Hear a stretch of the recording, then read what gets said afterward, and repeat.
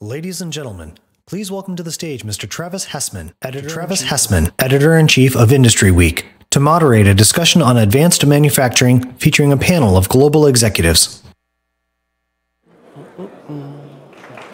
How shall we sit? Yep, yep, right Right here. here? Well, thank you. Welcome. Good luck. All right. Well, good morning, everyone. Uh, welcome to the panel. Um, all right, so he, we are here today, um, as was just said, uh, to talk about advanced manufacturing in the U.S. Um, and manufacturing, um, you know, advanced or not, is, is an absolutely vital part uh, of um, conversation about uh, U.S. investment um, right now. Um, and it's also, uh, I think, a particularly complicated uh, discussion to have, particularly now. On one side of it, I see uh, this whole range of opportunities uh, available in the market right now. Um, and this stretches from, um, like, I think the, the, the sci-fi worthy innovations that are coming out of not just Silicon Valley, but startups and traditional manufacturers across the country. Um, we have uh, a, a full-scale energy boom that's been going on for the better part of a decade that's um, redefining the entire um, uh, global uh, structure. Um, and then we have generations and generations of manufacturing talent here um, that are ready for new uh, opportunities if investments, uh, technology, and tools uh, come their way.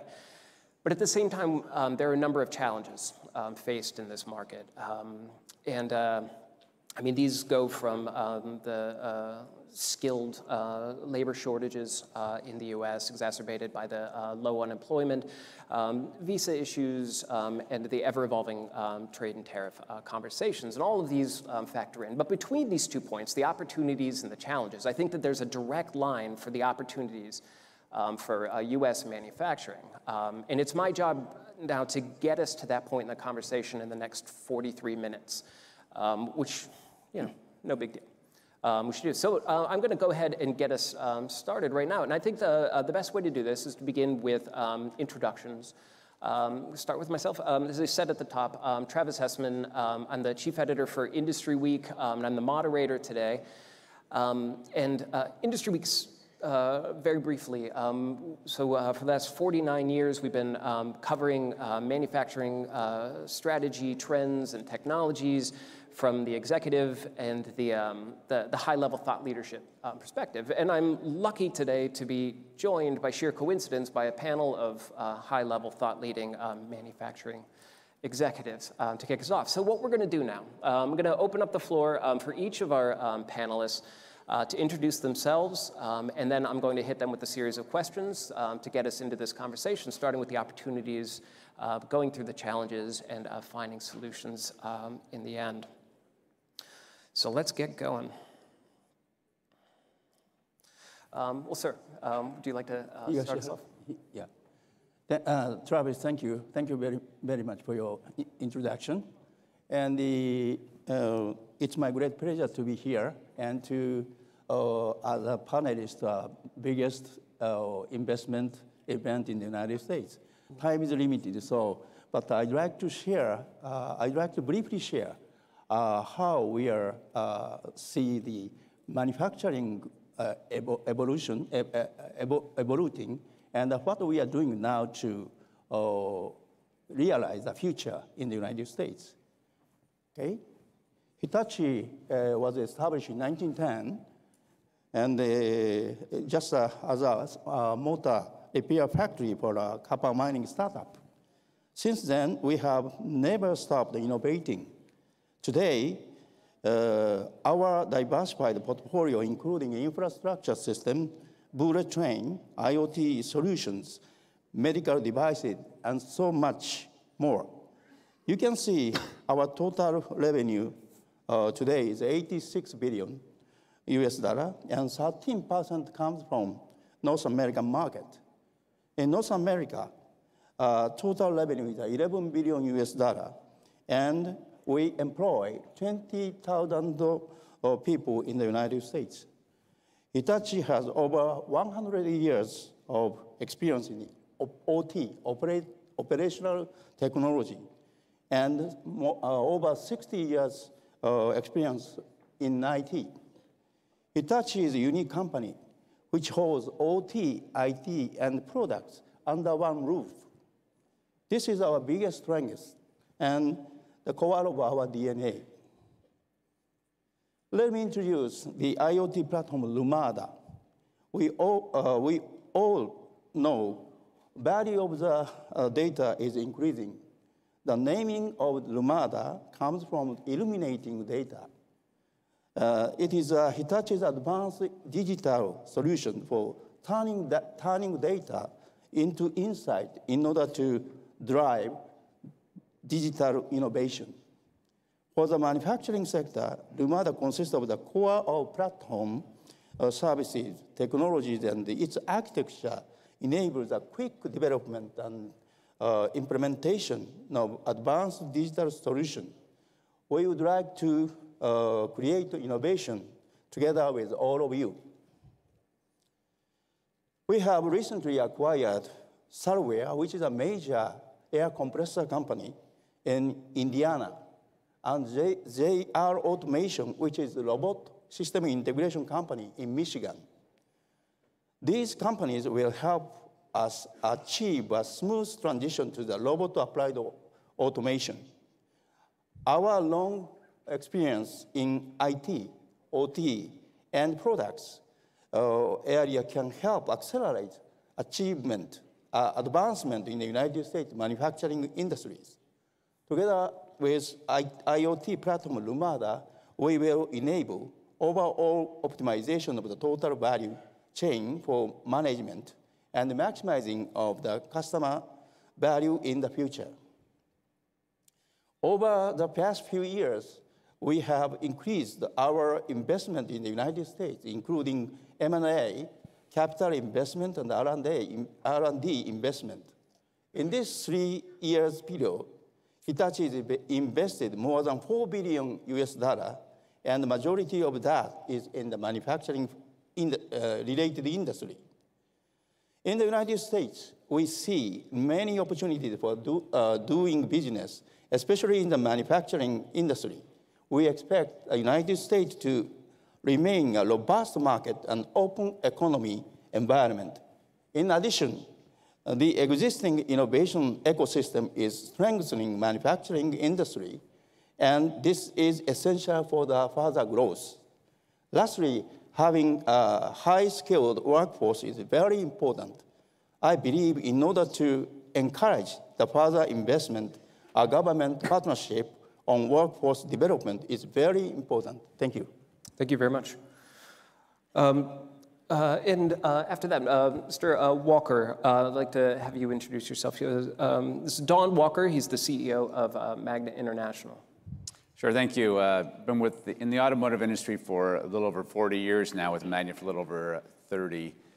we're pretty diversified. We, we actually design and build complete vehicles under contract. We have about uh, 340 manufacturing plants around the world. 57 of those are in the United States. We, uh, we see U.S. has been a very good place to do business. We invest approximately about $300 million a year in capital on top of R&D and everything else. Uh, overall, it's a, a, huge industry. We're, in, we're almost entirely an automotive parts supplier. So we we, we follow our customers for the most part around the world. Excellent, thank you. Um, and also uh, representing um, part of the, uh, the auto industry um, perspective, um, we have Mr. Sehgal uh, as the chairman of the Motherson Group. Uh, thank you. I think, uh, um, like Mr. Walker, Motherson also follows the customer. Uh, our company started in 1975 by my mother and me, and so that's no rocket science why the name is Motherson. Uh, but it imbibes uh, a tremendous amount of trust between this, and that's the same that we replicate with our customers, the countries, and the people who work in Motherson. Uh, we, uh, uh, at the moment, are around 13 billion US on top line. Uh, almost a quarter of that is coming from the, the Americas. we have about 140,000 people across the globe. We have 271 manufacturing plants. We're primarily a manufacturer, but more on the brick and mortar side. So advanced manufacturing and all that, whatever the customer wants, we do that. So uh, that's in very short what Motherson is all about. So. Excellent, thank you. Uh, and finally, Mr. Chin, um, uh, Executive Vice President and Head of uh, Global Development for SK Group. Thank you, Travis. Um, first of all, it's a pleasure to be here. I want to thank uh, Secretary Wilbur Ross, Department of Commerce, as well as the entire SelectUSA team for uh, inviting us to participate, to be uh, among such great distinguished uh, panelists here. SK uh, is a $140 billion conglomerate that many people probably have not heard because primarily we're in B2B uh, industries and businesses. Um, SK started uh, as a humble textile company in 1953. Uh, but it has become a uh, multifaceted, uh, multi-innovation-driven, multi-industry participant around the world. We employ about 100,000 employees, about 75 subsidiaries, and generate over, well over $100 billion in revenues each year.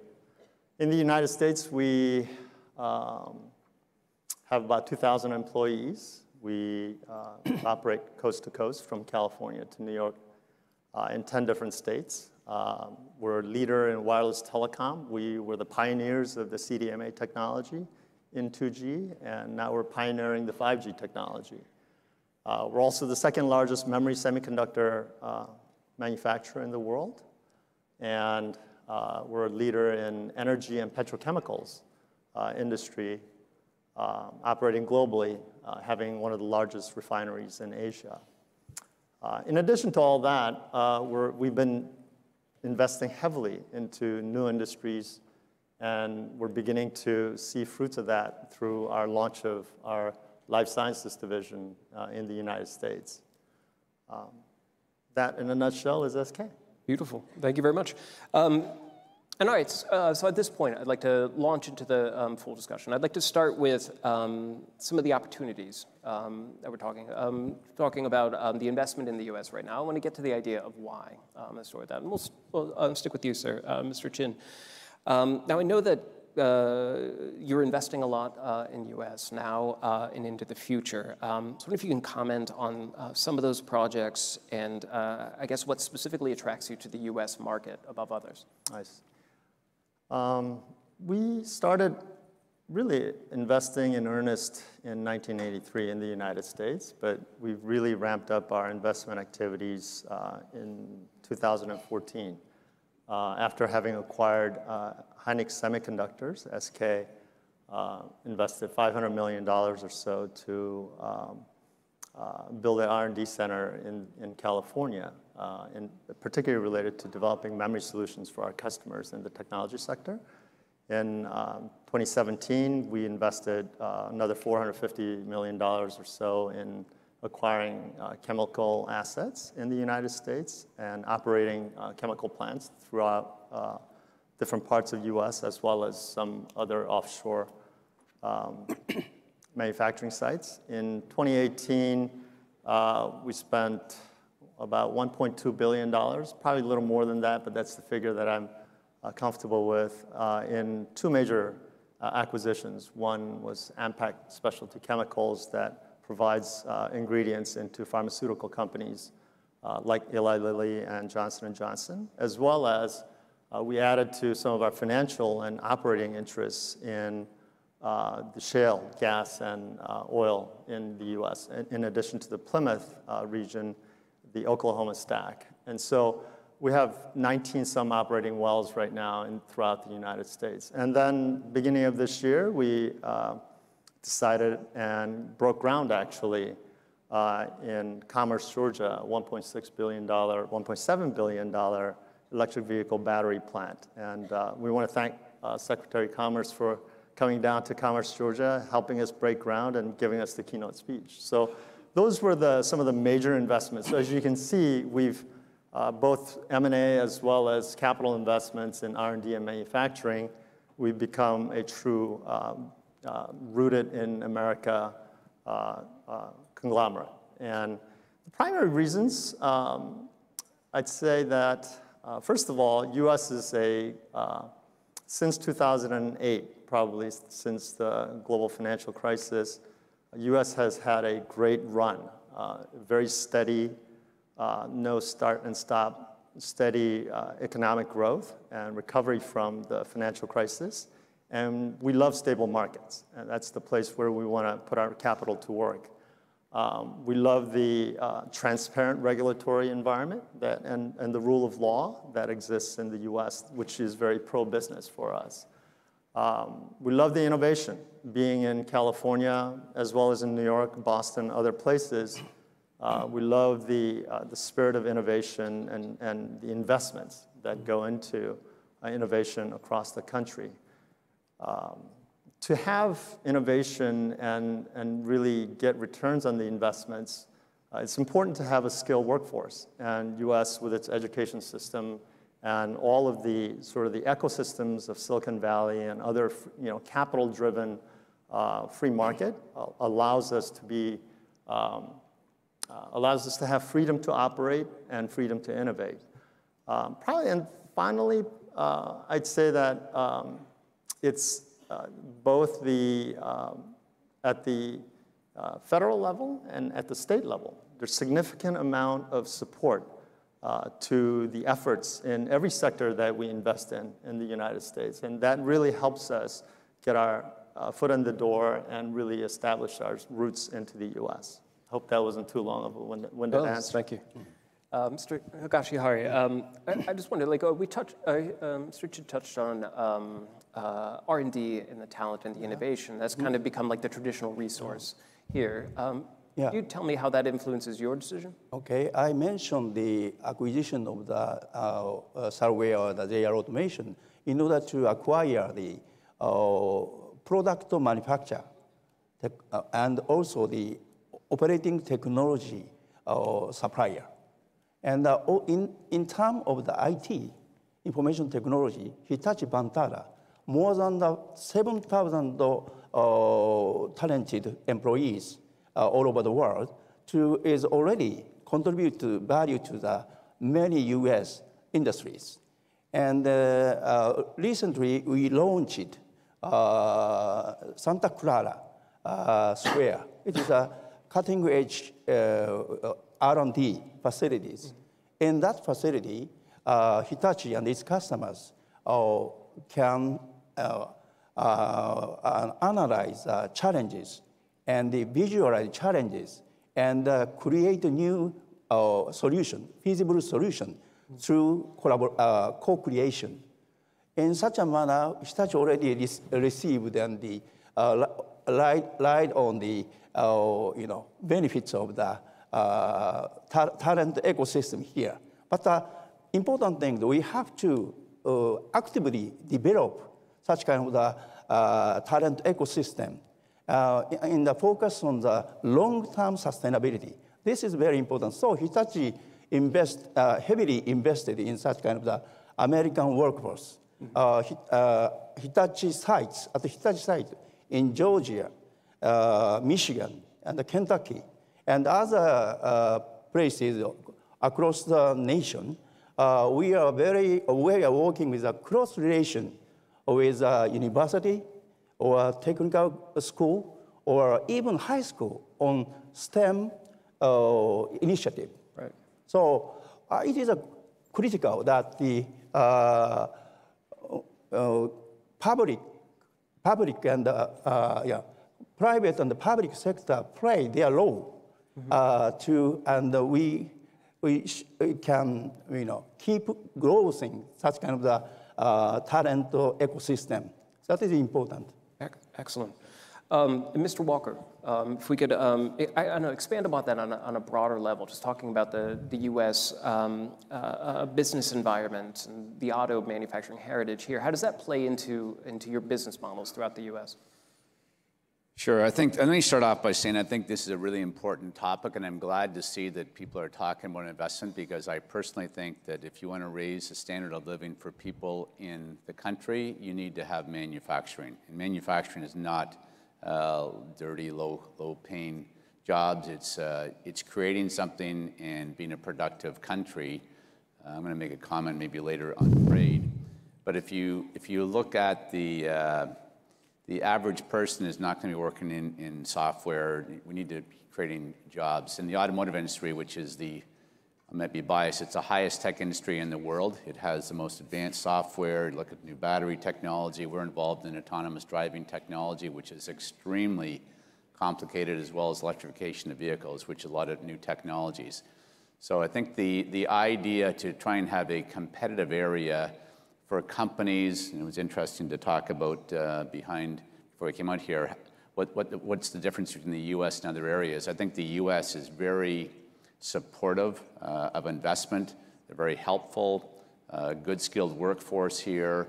And I think the, the, the view that manufacturing to create jobs and the spin-off benefits uh, is so important. It, it's really a pleasure to see that.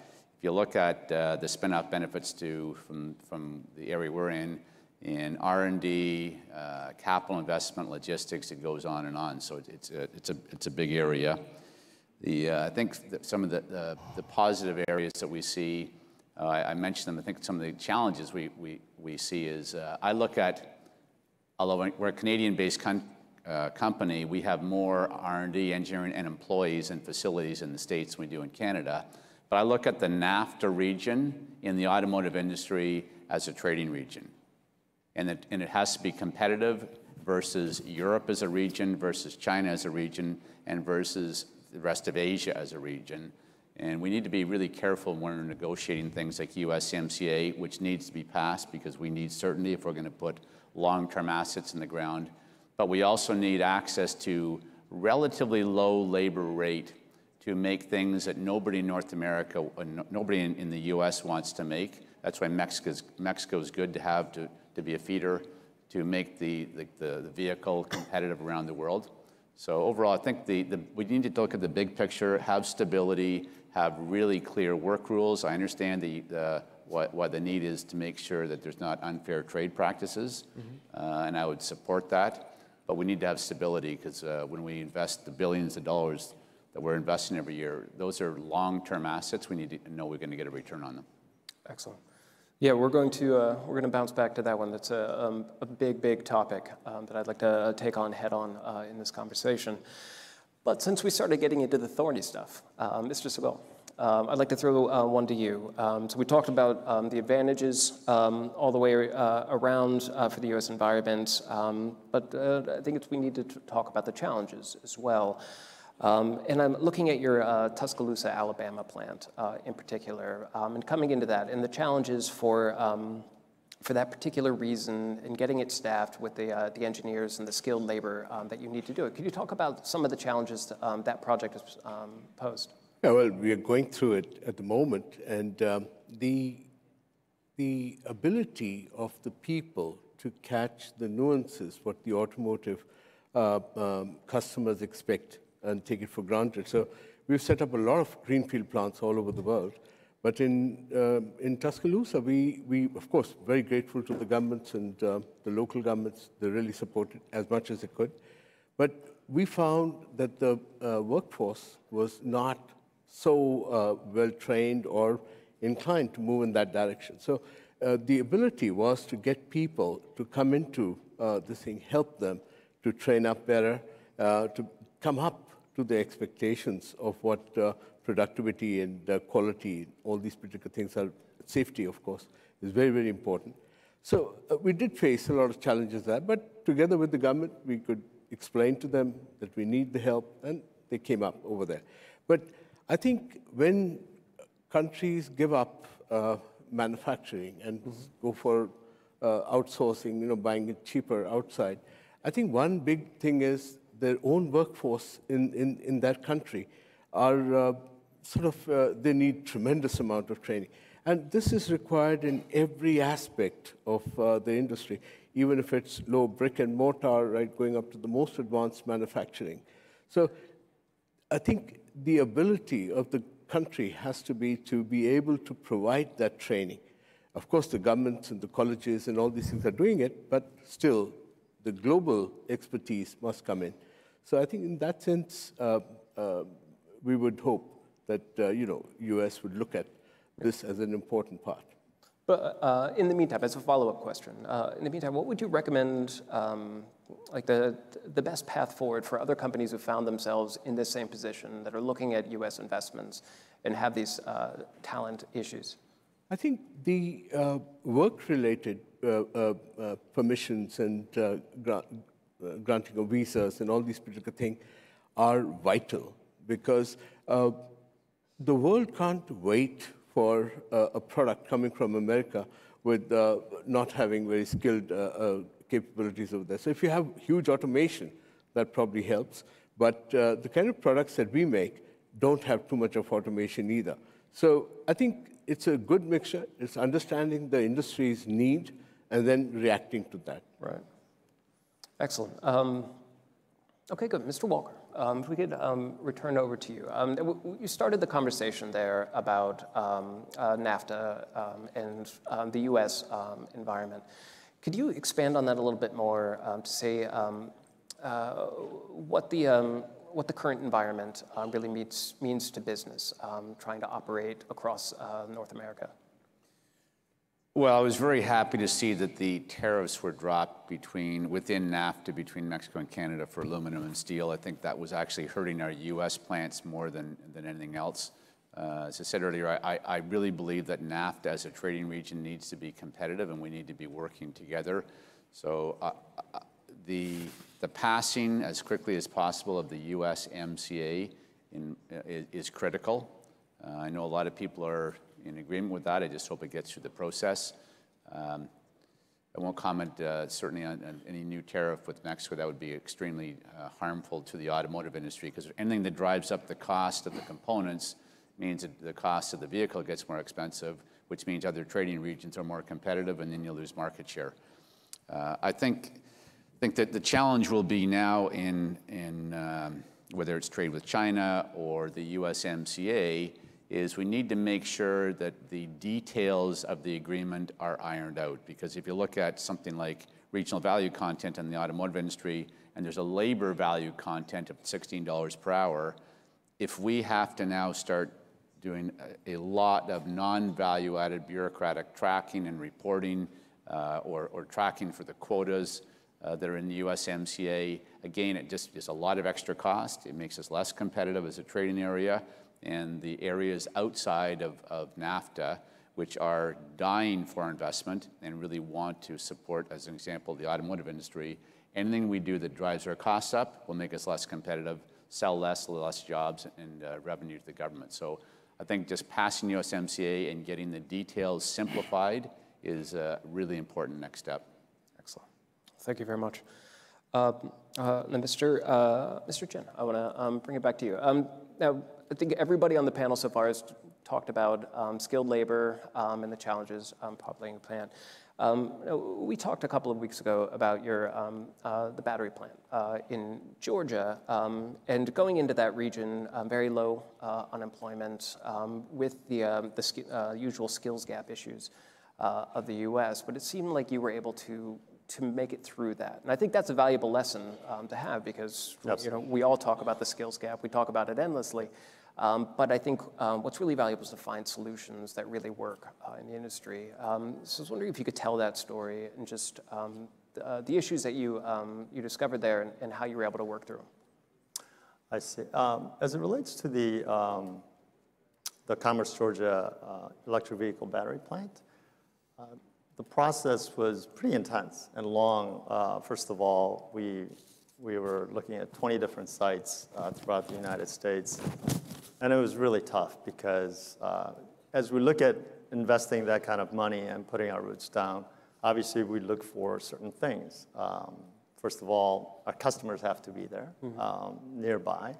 Number two, uh, the state or the local area that we're looking to invest in and set, our, set ourselves up has to have pro-business policies, um, and then skilled workforce. But I think really important, what's important is having people in local, state, even at the, at the federal level, be very supportive and active in helping us identify the issues and work through them. For the Georgia plant, uh, it was a great experience because once we made the decision, the difficult decision to go to Georgia, um, it was really a, a great experience because, first of all, we managed to um, uh, do a lot of research with the help of Department of Commerce as well as uh, uh, the local governments in Georgia um, about the sort of steady stream of well-educated workforce. Uh, and every state, we realized, would have some of the uh, skills gaps and so on, but Georgia has a great education system already and produces great uh, workforce overall. Uh, but there are also specific programs um, that uh, Georgia has, one of which is uh, what's called the Quick Start Program. And it's a program that Georgia runs that um, basically helps investors like us uh, match um, or, or shall I say, um, locate, screen, um, help hire, as well as train potential employees uh, for a, a, a, battery plant like ours.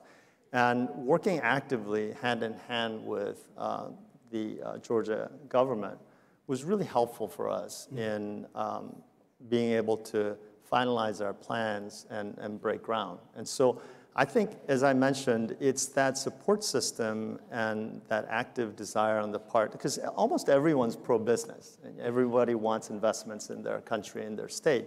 But that sort of uh, support system is essential uh, for us to make the decision and then to put money into the ground mm. and, and begin a successful uh, campaign. Excellent, thank you.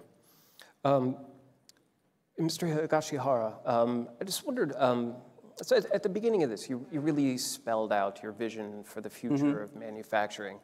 Uh, and with the investment numbers you were talking about, uh -huh. it's clear that the U.S. plays a big um, part in that. Um, I, I, guess just to close out this part of the conversation, okay. could you highlight some, some of the specific uh, opportunities that you see here for that uh, advanced manufacturing uh -huh. Judging from the U U.S., you know, uh, market status and the talent, I think U.S. Uh, is the most suitable place to build the uh, future of the manufacturing. Mm -hmm. And keyword, two keywords. One is digitalization Another one is the, you know, uh, overall uh, optimization. These two are the keywords. And, you know, uh, everything will be connected, such as a production line, uh, uh, uh, you know, e-commerce and the supply chain or other, you know, logistics. These are value chain, all, all connected. And the, we can, you know, you know, develop the overall optimization system. Uh, there is a three step. One is a you know uh, manufacturing process-based optimization. Mm -hmm. Next stage is a uh, factory factory-based uh, optimization. Third one is a multiple factory total you know uh, overall you know optimization. I introduced uh, Hitachi's Lumada. It is a, we, we can realize a step by step improvement by using Lumada, uh, factory base and the multi-factory base. So, but uh, in order to establish this kind of the uh, total system, we need a co-creation, uh, you know, collaborate with the customers. So uh, I think the, it is important to uh, share the, what is the issues and together with management and the, discuss, visualize, and the, uh, finds a feasible you know, solution by using digitalization. Beautiful. All right, excellent. Um, and uh, from here, the, the remaining five minutes and 19 seconds uh, that we have, I want to I wanna divide our time um, with everybody answering uh, one question, um, which is what's going to drive uh, uh, future investment um, in manufacturing mm -hmm. in the US? Um, and I, I guess, Mr. Sehgal, if we could start there. Uh, so we're 99% OEM suppliers. So definitely, as my customers are going to come more and more into US because the wonderful market and the conditions here, uh, definitely our group is going to focus more on US. Uh, all over the globe, we're in 41 countries, but we have never, uh, we don't like to export too much. We're very local producers. Um, so in, in, that sense, I think the first most important thing is that my customers are very, very inclined to be here in US, and hence we'll be more on that. Secondly, Uh, we are acquisitive companies. We acquire a lot of companies, and that's another opportunity that we have in USA. So uh, we've done 22 acquisitions already up till now, and always looking for more. All right, excellent, thank you. Um, Mr. Higashihara, uh, the same question. Oh, uh, you know, when we look around the you know, US market, the biggest issue is the uh, aging infrastructure. So uh, Hitachi would like to, uh, I already mentioned that Hitachi already have experience 100, more than 100 years OT and products, and also the uh, oh, 60, more than 60 years, you know, IT. So combining IT, OT products, uh, we can provide the intelligent uh, infrastructure system, such as the railway, energy, or other, you know, uh, industry infrastructure, and so on. So, uh, and uh, we'd like to, also, we'd like to have a three value is very important. One is a social value, economical value, uh, no, no, environmental value, economical value. These three values is very important. So we'd like to promote social innovation, we call so-called social innovation business. We'd like to, to improve the quality of life for Americans. Also with the uh, adding, while the adding the customers' value uh, in the United States. That is our expectation. Yeah, well, we'll take it, thank you. Um, Mr. Walker, uh, same question. I think the long-term view, as I said earlier, the importance of manufacturing to the standard of living and, and being able to create jobs for people is really important. So I think the, the environment around stability, uh, trade, uh, educating in, in the STEM, so we have good technical people. I think if we continue to focus on that in the U.S., then, it'll be a good place to invest. There's a lot going on now, uh, in, certainly in, in, in my history of over 40 years.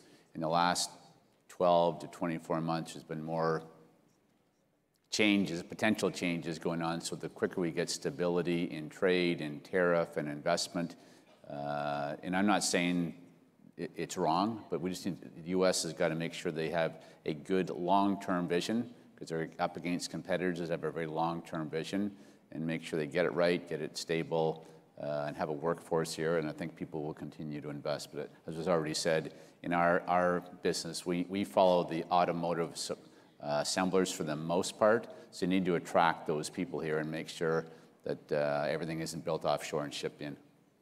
Excellent.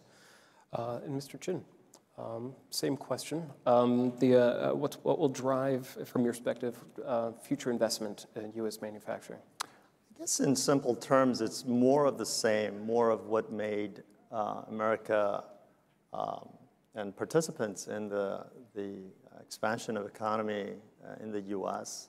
Uh, successful. Uh, it's uh, freedom to operate for um, multinational companies, whether they're based in U.S. or based in South Korea or other places.